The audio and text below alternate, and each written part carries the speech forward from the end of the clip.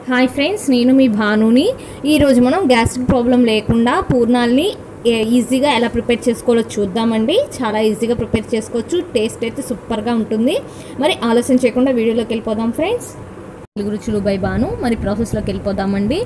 మనం యూస్ చేసే స్టఫ్ మూలంగా మనకి గ్యాస్ట్రిక్ ప్రాబ్లం అనేది ఉండదన్నమాట. సో వీడియో స్టార్టింగ్ నుంచి ఎండింగ్ వరకు చూడండి. మనం ఏ- ఈ స్టఫింగ్ని ఎలా ప్రిపేర్ చేసుకోవాలి గ్యాస్ట్రిక్ ప్రాబ్లం రాకుండా అన్నది. మరి ఫస్ట్ వచ్చేసి బ్యాటర్ ప్రిపేర్ చేసేసుకోవాలి దీనికోసం. ఆ బ్యాటర్ కోసం వన్ కప్ మినపప్పు వన్ కప్ బియ్యము ఈక్వల్ రేషియోలో మనం నానబెట్టుకోవాలన్నమాట. ఈ ఫస్ట్ వచ్చేసి మిక్సీ పడుతున్నాం కాబట్టి మనం రెండింటిని సపరేట్ సపరేట్గా మిక్సీ పట్టుకోవాలి. ఫస్ట్ మినపప్పుని ఈ విధంగా మనం మెత్తగా బ్లెండ్ చేసేసుకోవాలి. ఇలా మిక్సీ పట్టుకునేటప్పుడు కొంచెం కూల్ వాటర్ కానీ ఐస్ గడ్డలు కానీ వేసుకున్నట్లయితే మన బ్యాటర్ అనేది చాలా స్మూత్గా వస్తుందండి.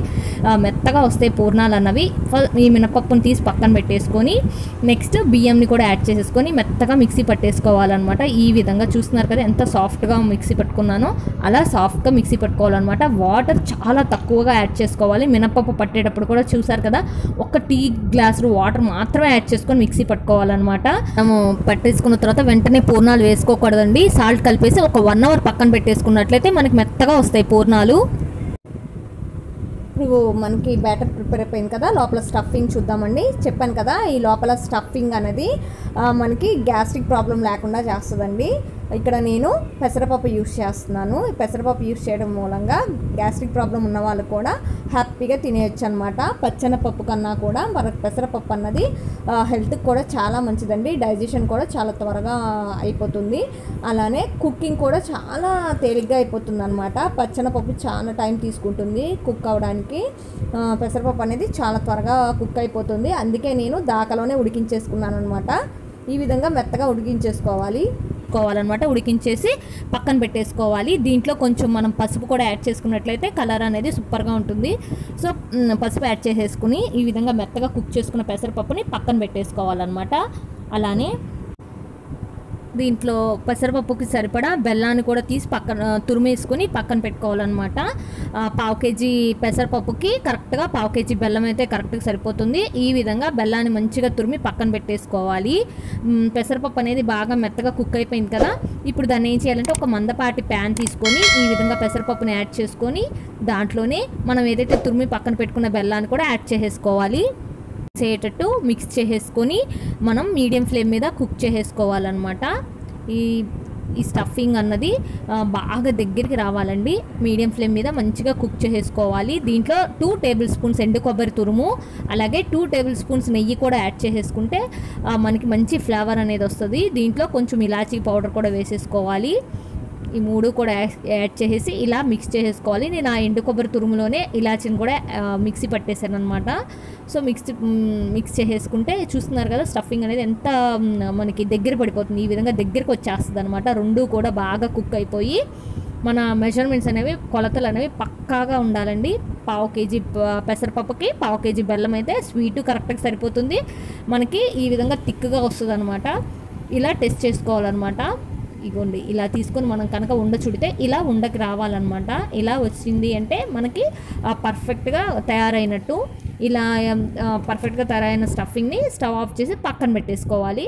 పక్కన పెట్టేసుకొని చల్లారిన తర్వాత ఇలా ఉండలు చుట్టుకోవాలన్నమాట. మనకి ఏ సైజు కావాలంటే ఆ సైజులో ఉండలు చుట్టేసుకొని పక్కన పెట్టేసుకోవాలి. సో ఇప్పుడు మనకి బ్యాటర్ ప్రిపేర్ అయిపోయింది.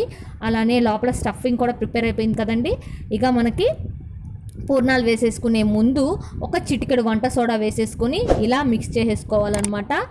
ఈ బ్యాటర్ కన్సిస్టెన్సీని అడ్జస్ట్ చేసుకోవడం కోసం ఒక four tablespoons water add చేశాను అనమాట కొంచెం యాడ్ చేసేసుకొని మనం ఇక పూర్ణాలు వేసేసుకోవడమేనండి. బ్యాటర్ కన్సిస్టెన్సీ చూస్తున్నారు కదండి. ఈ విధంగా థిక్గానే ఉండాలన్నమాట. కొంచెం వంట సోడా అలాగే టేస్ట్కి సరిపడా మనం ఒకసారి టేస్ట్కి సరిపడా సాల్ట్ కూడా యాడ్ చేసుకొని ఇక పూర్ణాలు వేసేసుకోవడమేనండి. మనం చెప్పాను కదా బ్యాటర్ ప్రిపేర్ చేసుకున్న వెంటనే పూర్ణాలు వేసేసుకోకుండా ఒక వన్ అవర్ మీరు అలా సాల్ట్ వేసేసుకొని పక్కన పెట్టేసుకొని పూర్ణాలు కనుక వేసుకున్నట్లయితే మనకి పూర్ణాలు అనేవి మెత్తగా వస్తాయి. మనం అప్పటికప్పుడు పూర్ణాలు వేసేసుకుంటే మనకి పూర్ణాలు అనేది గట్టిగా వస్తాయి అన్నమాట అందుకనే ఒక వన్ అవర్ పక్కన పెట్టేసుకోండి. ఈ విధంగా మనం చేసుకున్న వాటిని లోపల బాల్స్ ప్రిపేర్ చేసుకున్నాం కదా స్టఫింగ్ని. ఇలా బ్యాటర్లో ముంచేసుకొని ఆయిల్ బాగా హీట్ ఎక్కిన తర్వాత డీప్ ఫ్రైకి ఆయిల్ పెట్టేసుకున్నాం కదా అవి బాగా హీట్ ఎక్కిన తర్వాత ఇలా వన్ బై వన్ వేసేసుకొని గోల్డ్ కలర్లోకి వచ్చే వరకు ఫ్రై చేసుకొని తీసేసుకోవడమేనండి. ఆ ఫ్లేమ్ అన్నది మనం మీడియం ఫ్లేమ్లో పెట్టుకొని చక్కగా ఫ్రై చేసుకోవాలి. అప్పుడు మనకి స్టఫ్ అనేది బయటకు వచ్చేయదు. మరి హై ఫ్లేమ్లో కనుక మనము ఫ్రై చేసుకున్నట్లయితే ఆ స్టఫింగ్ బయటకు వచ్చే ఛాన్సెస్ ఎక్కువ ఉంటాయన్నమాట. ఆయిల్ ఎలాగో బాగా హీట్ ఎక్కింది కాబట్టి మీడియం ఫ్లేమ్ మీద ఫ్రై చేసేసుకోండి. కొలతలు అనేవి ఈ విధంగా తీసుకోండి ఫ్రెండ్స్. మీకు పక్కాగా మనకి పూర్ణం బోర్లు అనేవి మంచిగా వస్తాయి అన్నమాట మెత్తగా. చెప్పాను కదండి ఒక కప్పు మినపప్పుకి ఒక కప్పు బియ్యం అనమాట అలానే పావు కేజీ పెసరపప్పుకి పావు కేజీ బెల్లం అనమాట ఈ మెజర్మెంట్స్తో కనుక మనం పర పూర్ణాలు ప్రిపేర్ చేసుకున్నట్లయితే చక్కగా వస్తాయండి. పచ్చనపప్పు పూర్ణాల కన్నా కూడా ఈ పెసరపప్పు పూర్ణాలు అనేవి చాలా త్వరగా ప్రిపేర్ చేసేసుకోవచ్చు అనమాట పచ్చనపప్పు మనము కుక్కర్లో వేసినా కూడా కుక్ అవ్వడానికి చాలా టైం పడుతుంది. కానీ పెసరపప్పు అనేది కుక్కర్లో వేయకుండా మామూలుగా మనము దాకలో పెట్టుకున్నా కూడా చాలా త్వరగా కుక్ అయిపోతుంది. ఫిఫ్టీన్ మినిట్స్లోనే మనకి పెసరపప్పు అనేది మంచిగా కుక్ అయిపోతుంది అనమాట హెల్త్కి కూడా చాలా మంచిదండి పెసరపప్పు అన్నది. ఒకసారి మీరు ట్రై చేసి ఎలా ఉంది ఏంటి అనేది కామెంట్ సెక్షన్లో కామెంట్ చేయడం మాత్రం మర్చిపోద్దు మీకు కనుక ఈ రెసిపీ నచ్చినట్లయితే మీ ఫ్రెండ్స్కి రిలేటివ్స్కి షేర్ చేయండి. అలానే ఫస్ట్ టైం నా ఛానల్ని విజిట్ చేస్తున్నట్టయితే సబ్స్క్రైబ్ చేసుకుని చూస్తున్నారు కదా ఎంత లోపల స్టఫింగ్ అనేది ఎంత కలర్ఫుల్గా ఎంత చక్కగా వచ్చిందో ఒక్కటి కూడా బయటికి మనకి స్టఫింగ్ అనేది బయటికి రాలేదు.